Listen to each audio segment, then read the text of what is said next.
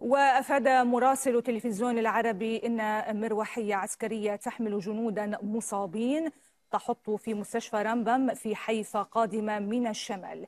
وهذه صور خاصة بالتلفزيون العربي لنقل الجنود.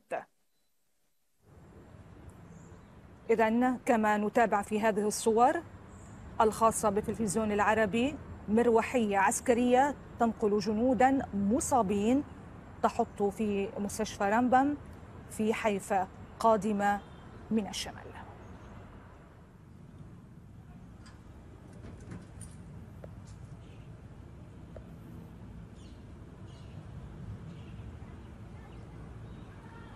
إذا تأتي هذه التطورات بالتزامن مع إعلان حزب الله عن